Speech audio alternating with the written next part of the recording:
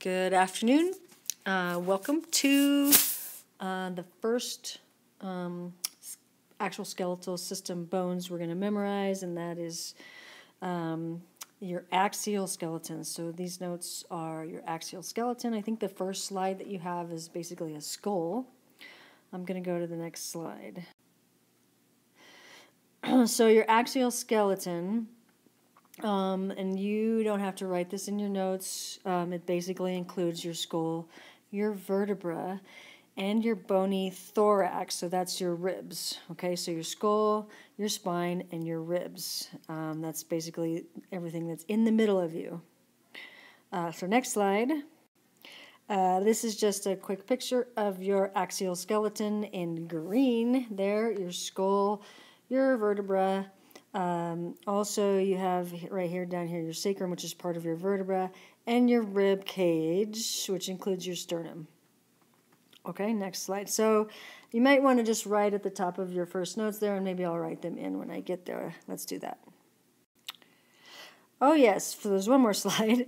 Um, your skull, the the top of your axial skeleton has two actual two sets of bones your cranium and your facial bones are separate, and your bones are joined by sutures, which are a kind of joint. Okay, this is a kind of joint. A joint. So that doesn't have synovial fluid about it. Um, and um, they're fused, so they don't move, but it is considered a joint. Okay, um, only the mandible is attached by a freely movable joint. Okay, so next slide. And here's the first slide that you have. And unfortunately, yours is in black and white. It's not beautiful and colored like this, so it makes it a little challenging. But we'll have several of them in your um, color plates um, in order to um, get the idea of the different bones, okay? Uh, so this is your skull. You can essentially uh, fill these in. I'm going to run, just run through it here. This suture right here that the stylus is doing is the coronal suture. Okay. Uh, this bone in the front of your head is your frontal bone. This bone, and there's actually two of them. So when you write that in, write times two. You, to that, it's hard to see that too, but the parietal bone, you have two of them.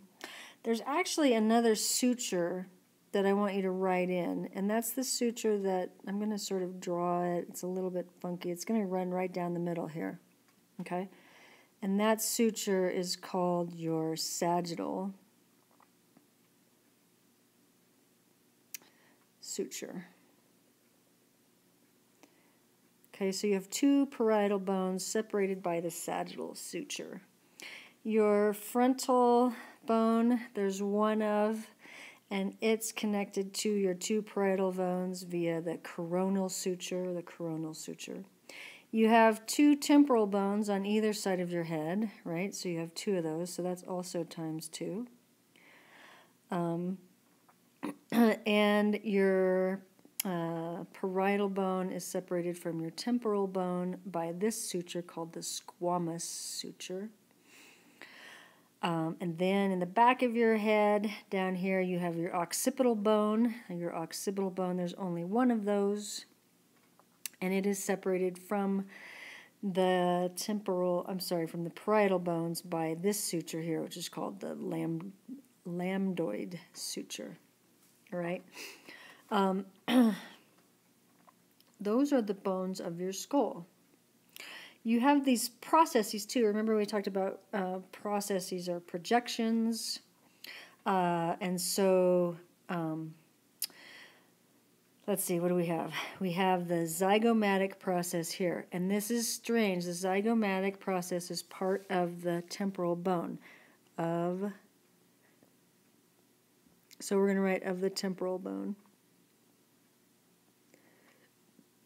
All right, of the temporal bone. Because you also have a zygomatic bone, which is in front, it's a facial bone, and it's in front of the temporal bone, and it connects to the zygomatic process, but the zygomatic process is actually uh, part of the temporal bone. You have your external auditory meatus. Um, this is your ear bone. This is the hole where your where you, your sound comes out of your ear. You have the mastoid process, which is where most of your large mastication muscles for chewing attach to this part of your bone here. And you have the styloid process. I like to think of it as the styly one because it's a little pointy. Styloid process. And that also attaches um, muscles to your mandible uh, for chewing. Okay, and this big red bone here is called your mandible. This is the whole mandible, and this part of the mandible is the mandibular ramus.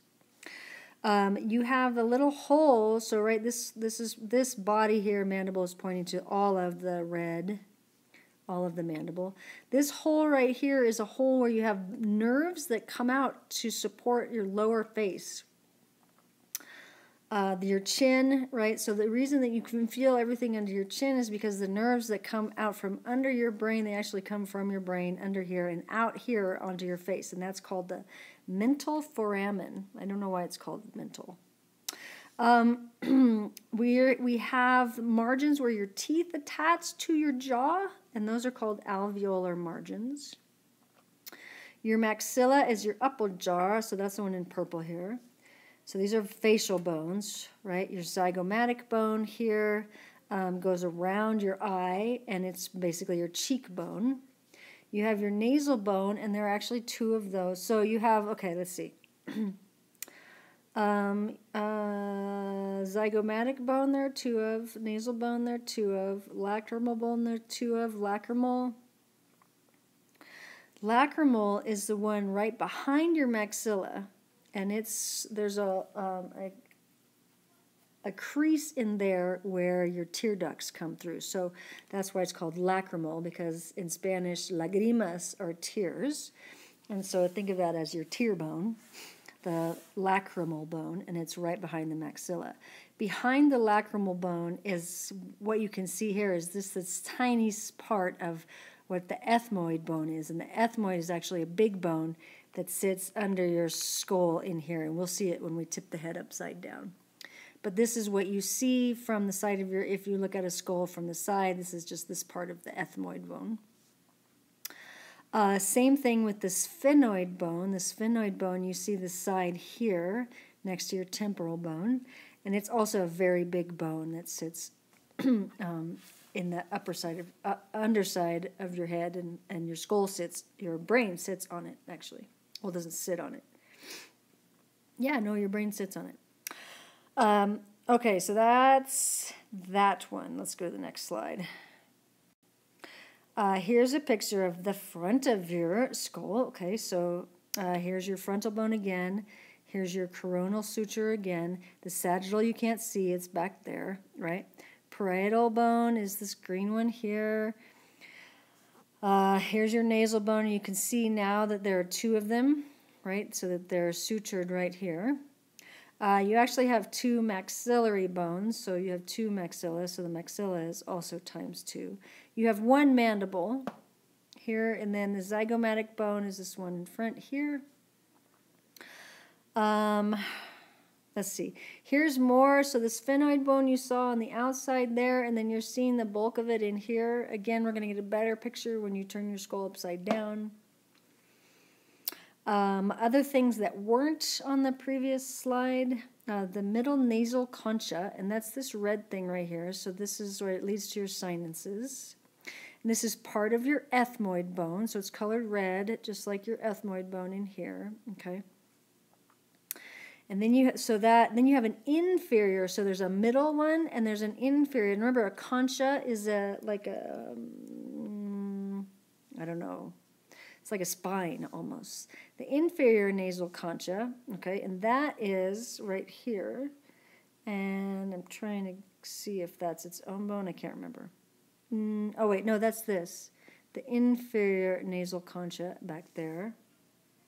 And then you have this bone right here, the vomer, is its own bone. It's a really small bone, and it just sits right there. Uh, here's your alveolar margins again. Okay, so finish that up, and then I'm going to go on to the next slide. Okay, this is basically now uh, we've sliced your head in a um, transverse slice, so to into top and bottom, okay, above the jaw. So we're, uh, no, yeah. And we're looking down now into this is where your brain sits on your jaw. Okay, so uh, this hole right here is called the foramen magnum, and that's where your spinal cord goes in. So if you go down through that space, you're going down into your spinal cord, okay?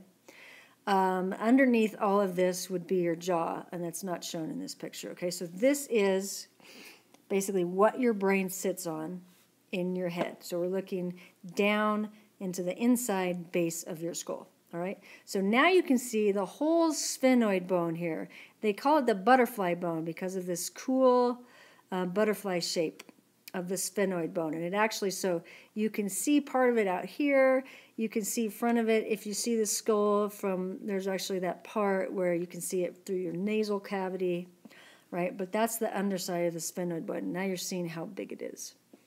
Um, this sella turcica here is um, um, basically where your pituitary gland sits. So it houses the pituitary, pituitary gland, which is an important gland when we study your nervous system. We'll learn about the pituitary gland. You probably know what it is, but your pituitary gland sits um, right in that little case right there. It's really important, so it has its very own special bed in your brain, and it's called the sella turcica.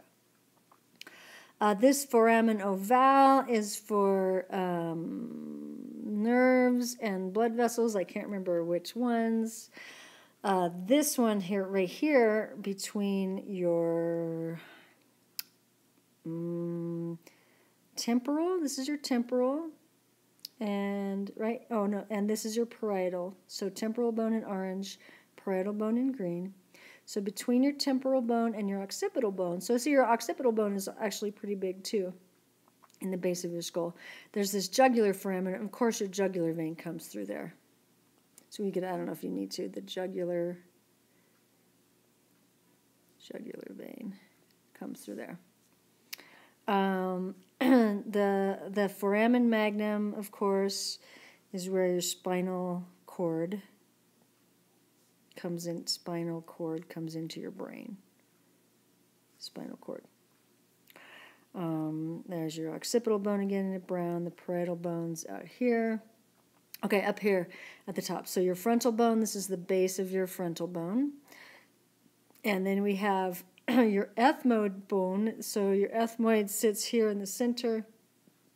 Um, there is a, this thing or the crista galli, the name right here, is this little um, crest right here, and it's called the coxcomb. So um, it's like the coxcomb.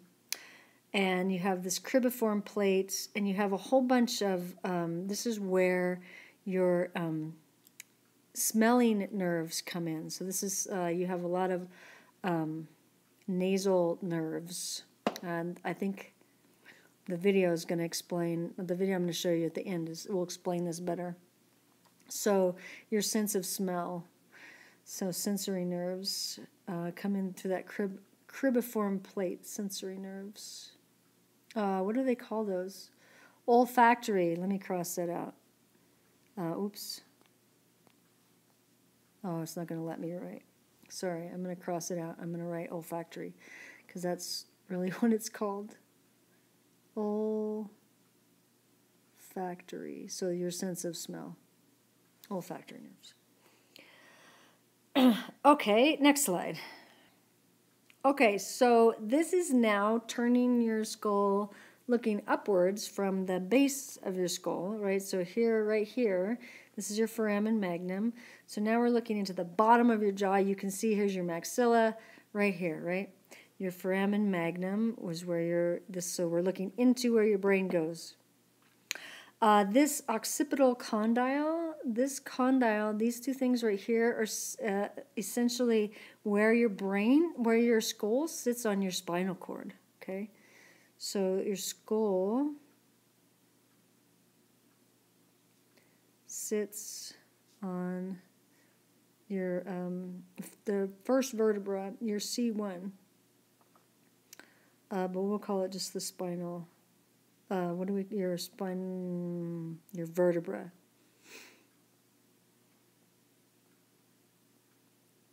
Vertebra, your spinal column. I should have called it. Okay. Um, here's that jugular foramen again. This is from the underside. We saw it from the inside before, right?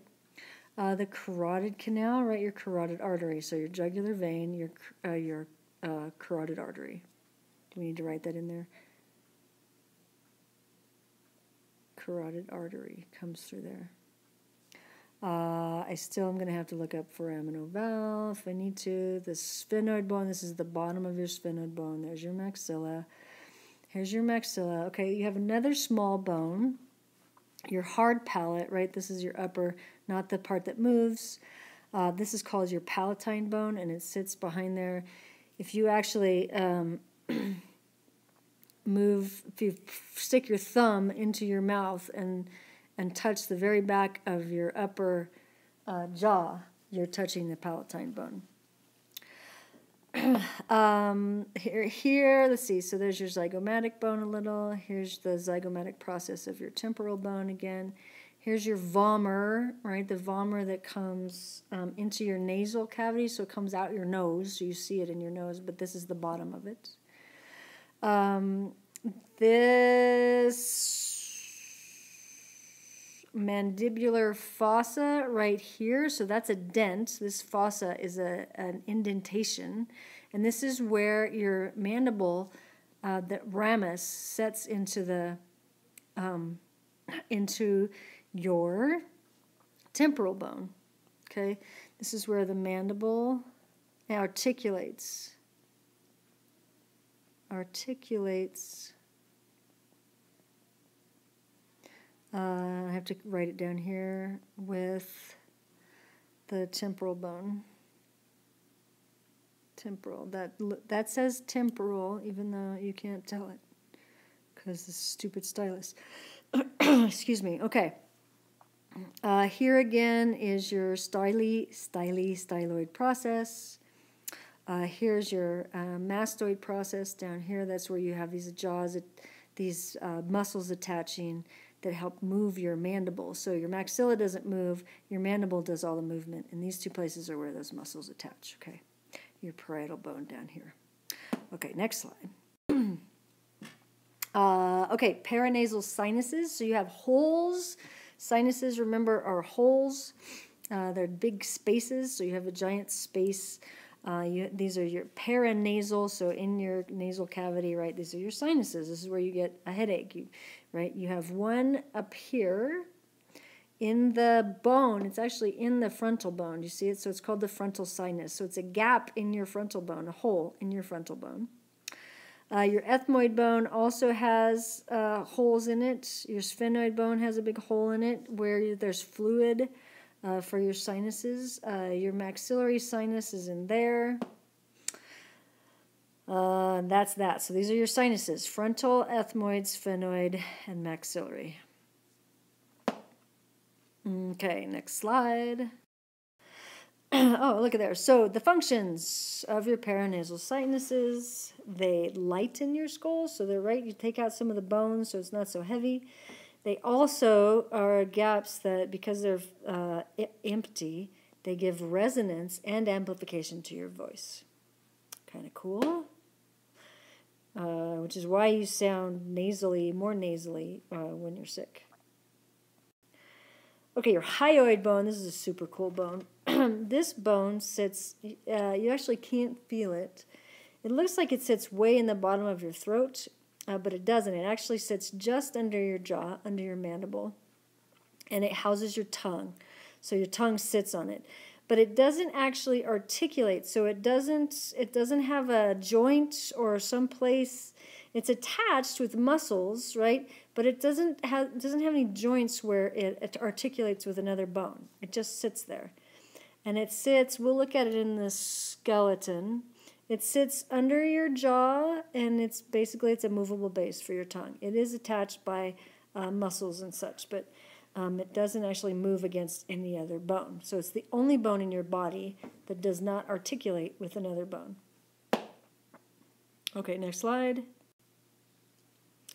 Okay, developmental aspects. So um, when you are born, uh, your bones are, um, when they say incomplete, they basically mean uh, not sutured. So they're not fused. They are not fused.